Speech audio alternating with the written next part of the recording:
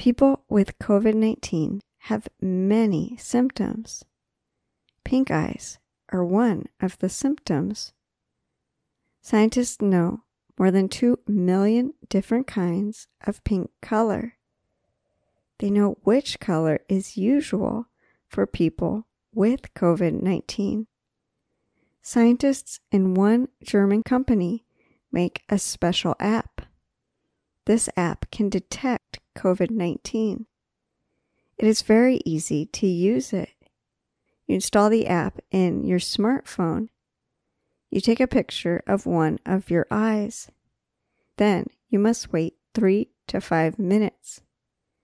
The app sends you a message. It tells you if you have COVID 19 or not. The app also checks your temperature, heartbeat, and eye infection. It helps to get the correct result. The result is correct in 95% of cases.